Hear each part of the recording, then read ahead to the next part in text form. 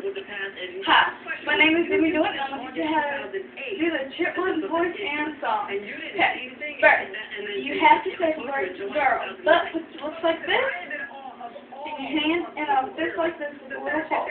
Put your lips inside with your hands and say the word girl.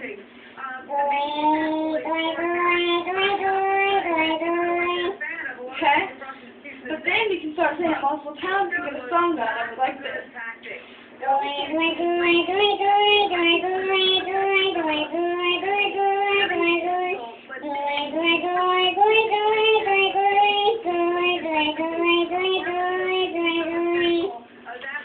Now, if you start practicing that, you can do it without your hands, or you can do your hands first, then or two, and then take your hand off, like this.